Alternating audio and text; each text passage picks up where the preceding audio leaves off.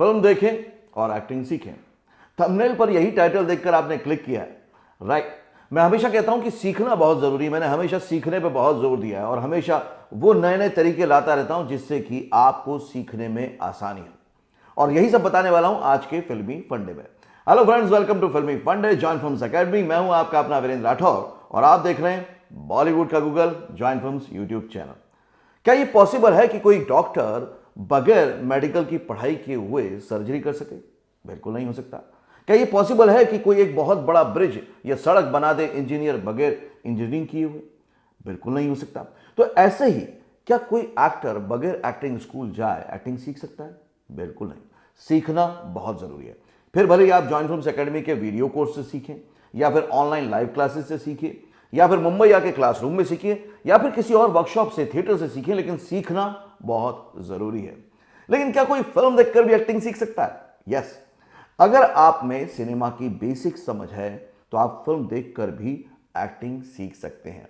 और यही सब बताऊँगा आज के पूरे के पूरे वीडियो में तो इसको अंत तक देखिएगा, ताकि आज से आपकी एक्सरसाइजेस और प्रैक्टिस शुरू हो जाए घर में ही, बगैर कोई खर्च किए हुए। यहाँ पर मैं एक बात क्लियर करना चाहता हूँ कि फ़िल्म देखकर एक्टिंग सीखने के लिए आप में एक्टिंग की बेसिक समझ होनी चाहिए।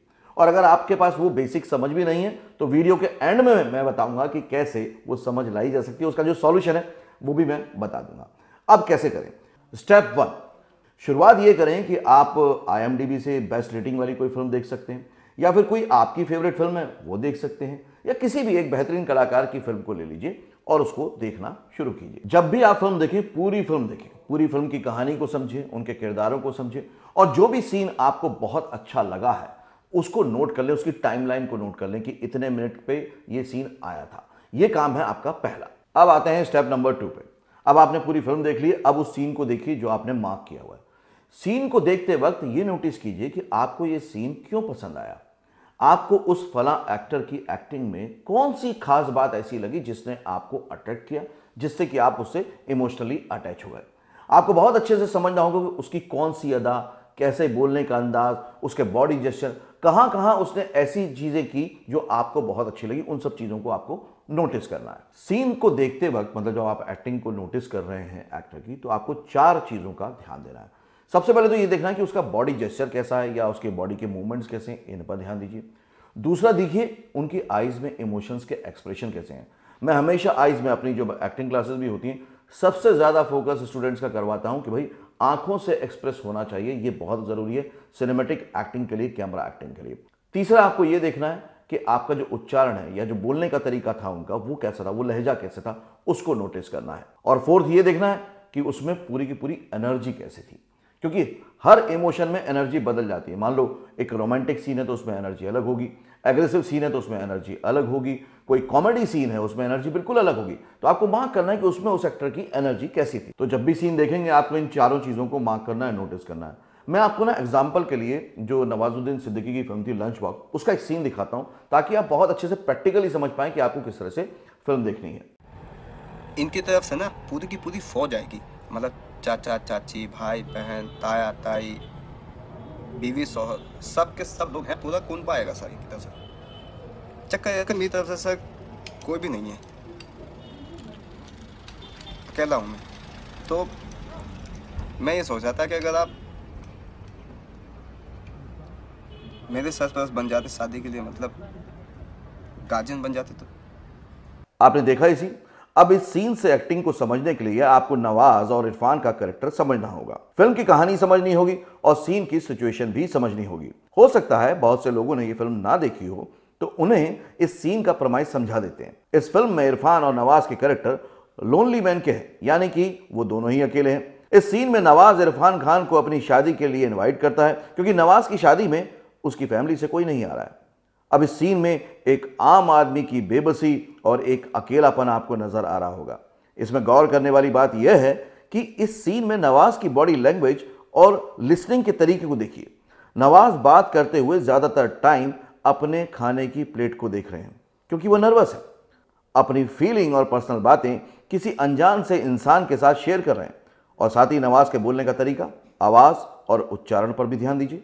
तो इस छोटे से सीन में आपने चारों चीज़ों को देखा मतलब कि बोलने का तरीका, उनका उच्चारण कैसा था, उनका बॉडी जेस्चर कैसा था एनर्जी कैसी थी, ये सारी चीज़ों को आपको नोटिस करना है। इसके बाद आता है स्टेप थ्री इसमें आपको क्या करना है? वही सीन देखना है। लेकिन इस बार आपको साउंड को ऑफ़ कर देना है। साउंड ऑफ़ करके पूरे के पूरे सीन को देखना है और फिर चारों चीज़ों को नोटिस करना है।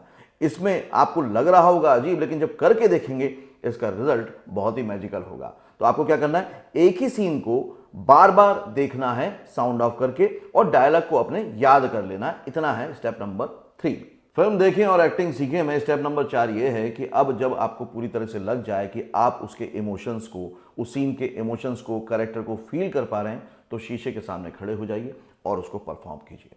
लेकिन एक बात का आपको ध्यान रखना है कि उनकी मिमिक्री करने की कोशिश नहीं करनी है। हमको रेफरेंस के लिए वो सीन और एक्टर की एक्टिंग को देखना है। रेफरेंस के लिए। है ना? लेकिन उसको कॉपी नहीं करना है।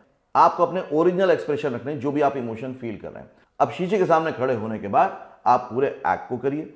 और ये देखिए कि आप फील कर पा रहे हैं कि नहीं कर पा रहे हैं। देखिए, इसमें एक फ़ायदा है और एक चैलेंज है।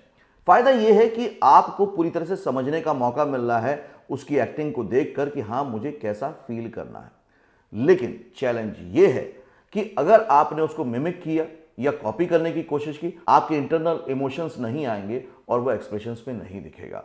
इसलिए प्लीज़ इस बात का ध्यान रखें कि आप उस सीन की गहराई को समझें और उसके बाद परफॉर्म करें।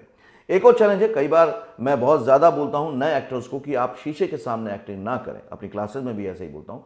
रीजन ये होता है कि शीशे के सामने जब हम एक्टिंग करते हैं, खासतौर से नए एक्टर तो हम देखने लग जाते हैं कि यार मेरी आँखें कैसी लग रही हैं, मेरी स्माइल अच्छी नहीं है, मेरा चेहरा ऐसा है, इसमें ये प्रॉब्लम है आ, मैं शायद अच्छा नहीं लग रहा हूँ।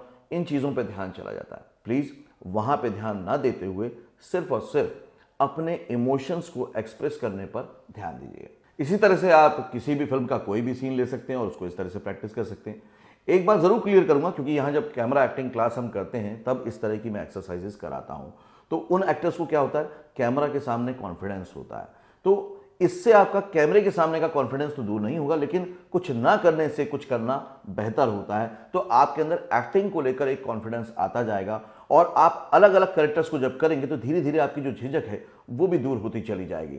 तो इसको डेली प्रैक्टिस करें, कोई भी एक सीन ले लें, एक करेक्टर ले लें और उसको प्रैक्टिस करें।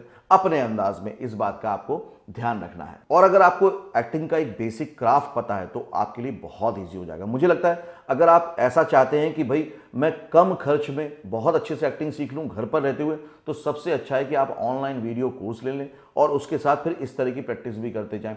ऑनलाइन वीडियो कोर्स में सबसे बड़ा बेनिफिट ये होता है, जो लोगों को डाउट है, कि अगर हम परफॉर्म करेंगे तो हमें पता कैसे चलेगा कि हम एक्टिंग सही कर पा रहे हैं कि नहीं कर पा रहे हैं। इसका सॉल्यूशन भी जॉइंट फ़िल्म ने निकाला हुआ है। जॉइंट फ़िल्म ने एक ऐसा इको फ्रेंडली सिस्टम बनाया है कि आप वीडियो कोर्स से जब सीखते हैं प्रैक्टिस करते हैं, उसके बाद आप अपना जो एक वीडियो बनाते हैं, उसको सेंड करते हैं टीम को और उसके ऊपर मैं फीडबैक देता हूँ। तो ये कंटिन्यूस प्रोसेस है, इसमें कोई दिक्कत नहीं आती है। तो अगर आप ज़्यादा जानना चाहते हैं तो जो स्क्रीन पर नंबर दिया हुआ है, उस नंबर पर कॉल करके सपोर्ट टीम से बात कर लीजिए, वो आपको गाइड कर देंगे। मुझे ये ज़रूर बताइएगा कमेंट करके कि इस तरह के वीडियो आपको कैसे लगते हैं।